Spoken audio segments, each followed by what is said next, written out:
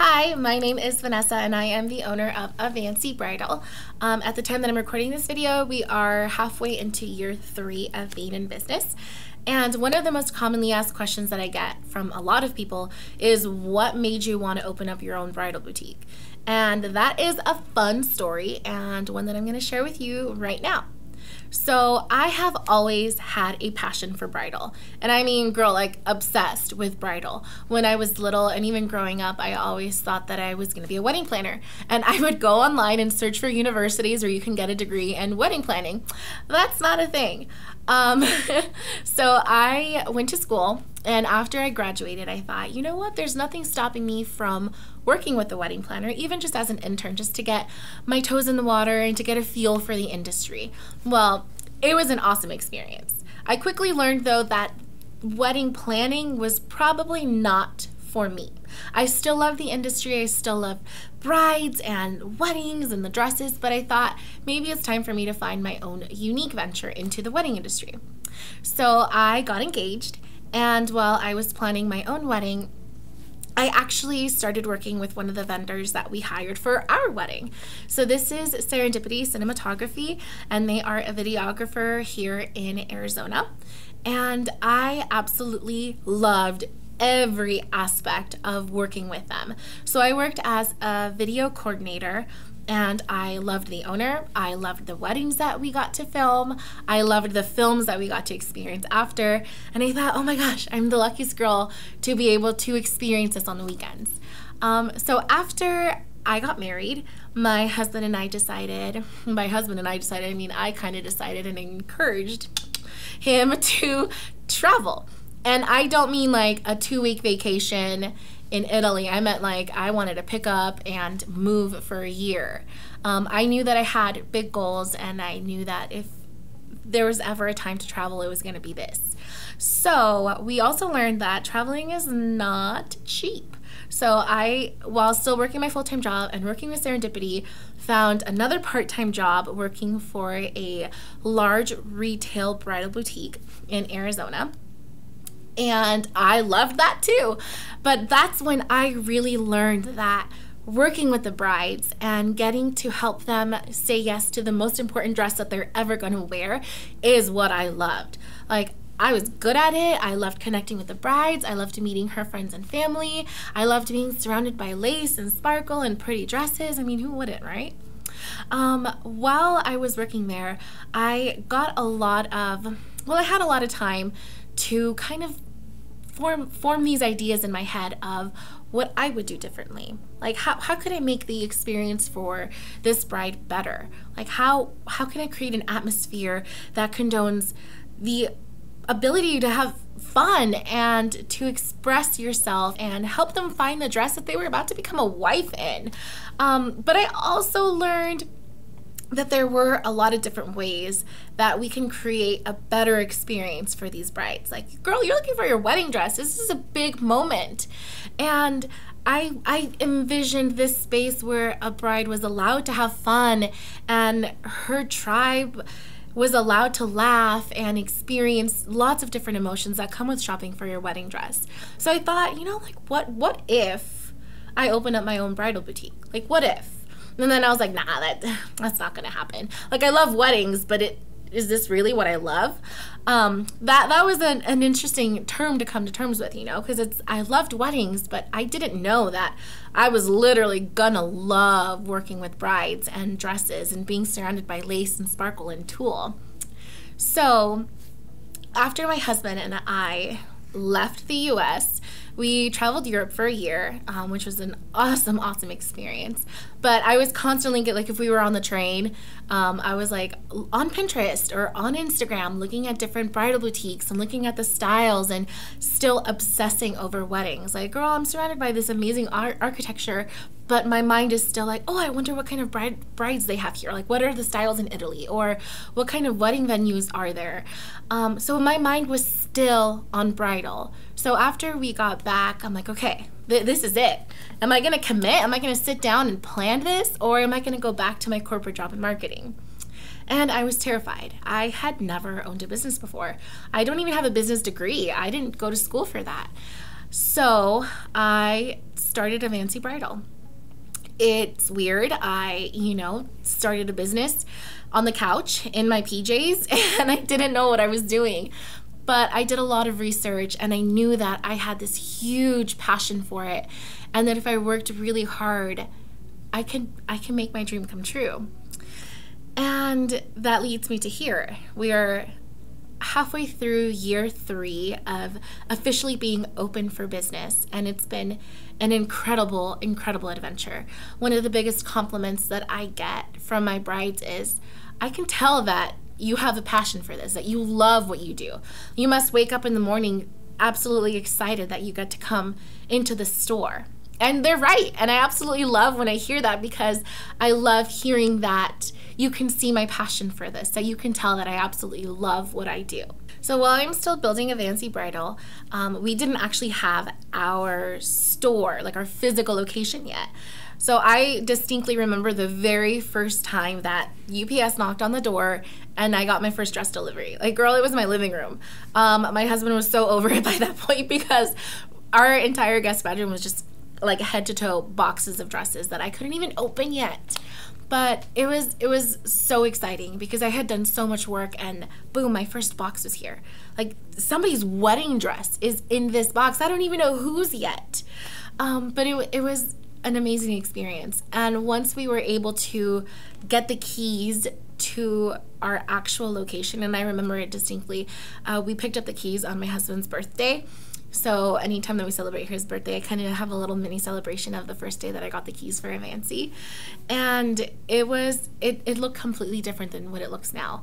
What it looks like now, excuse me but it was so fun getting to design this space and explaining to people like okay this is where i'm going to put like this green stuff on the wall and people are going to take their i said yes to the dress picture here and then i remember the contractors they're like you're you're putting i'm sorry you're putting grass on the wall? I'm like no it's gonna be this like pretty ivy and brides are gonna say yes and like that's just a waste of space. But but that's okay. I mean we love it right? It's okay if, if they didn't understand it. So Avancy bridal is open. We are officially open for business. Oh my god. That's that's exactly how i felt. A mixture of excitement and fear and oh my god, I did this. what do I do now? Um, it it was crazy. I mean, I was 27, I think, when I when I opened up my my first business and it's crazy. But I, I distinctly remember my very first bride. The very first bride that said yes. First of all, the very first bride that said yes was my cousin in my living room. Um, and I opened a box and we were in my guest bedroom and she was trying dresses on. But I mean, like my first real bride at the store. I was so nervous after she said yes. I started bawling my eyes out. She was crying too, but I was bawling my eyes out because I'm like, oh my God, I, I picked this dress. I remember picking this gown thinking, holy cow, this is gorgeous.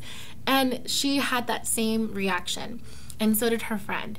And she said yes. And I was like, oh, I made a what do I do now? I called my husband and he like walked me through the process. He's like, you know what to do. Anyway, I have then had hundreds of brides that have experienced this amazing moment in my store. I have hand picked every single one of them, maybe 350 plus dresses that have been in my store at one point, with my brides in mind. Isn't that crazy? Like I, I pick a gown and I and I try to visualize the kind of woman that's gonna be wearing this. I pick a gown and I think, oh my god, I'm gonna bring this into a fitting room one day. And I'm gonna have a bride just see her face light up and her eyes fill with tears and her family members just get this oh my god feeling that if you're watching this and if you've said yes to your dress you can kind of relate to it and it's it's such an emotional process for me that it brings me so much joy. So the dresses that I have in my store, I try to visualize the kind of bride that is going to be wearing these dresses. And it's really fun because there's a process that goes through a gown actually making it into the store. So one of the things that people don't really know about the bridal industry and something that as bridal boutique owners we experience. Um, it's it's bridal market, so fashion week. Um, about twice a year, we get to go, um, just depending, like Chicago or New York, many different locations, to see the new collections that our designers are releasing. So, for like the fall collection or the spring collection. And once we're there, we have to pick a couple of styles that we want to bring to our store. And it's cool because when I'm there, one, it's super awesome. Like, I'm surrounded by people that are also obsessed with bridal.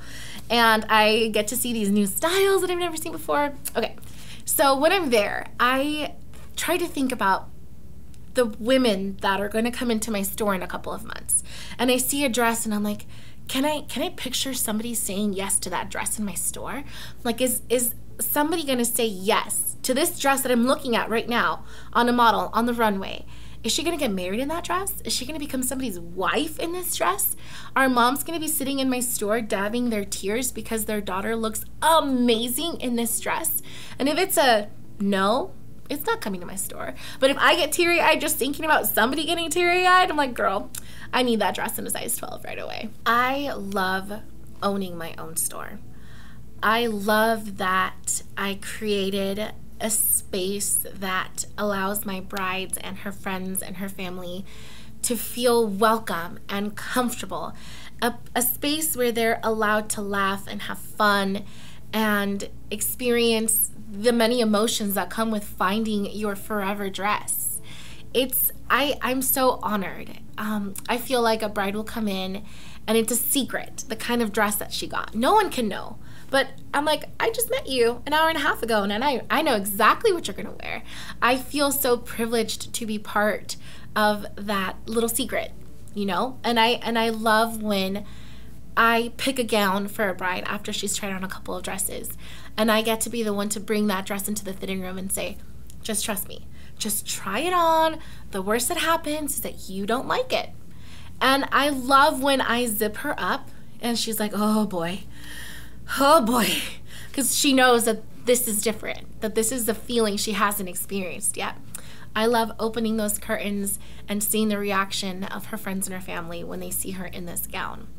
I love seeing this transition of where she goes from a friend and a fiance to a wife. Like you're a bride.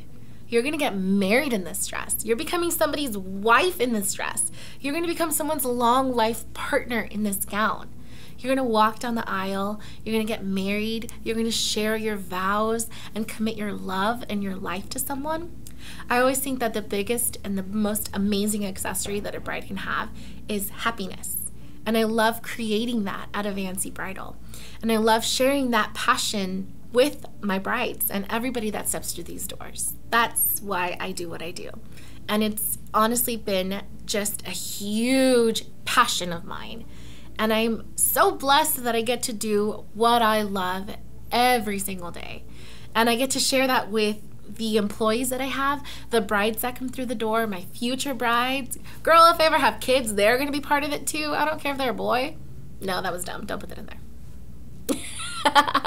and it doesn't even end there. I mean, I follow my very first bride on Instagram, and I know that she's since then had a baby. And many of my brides, I get to see their transition of, okay, you were a bride and now you're a wife. And I love sharing those big moments with them. I've seen so many of my brides share with me that they're having a baby, or that they're moving, or that their sister's engaged and now it's her turn to come in and become an Avancy bridal bride. What a huge compliment that is. I love it. I absolutely love it. And I hope that hearing my story kind of gives you a good insight of who I am and why I opened up my own store. And if you ever want to, come and experience the fun in finding your forever dress at Avancy Bridal. I'm sorry. okay. That's a tongue twister. so while I was working at this big can't say it. So while I was working at this Bix box, freaking A! Oh my god! We're not using this later. Sorry. No, wake up. That damn fly! you married me. or that their sister is engaged in. Ah!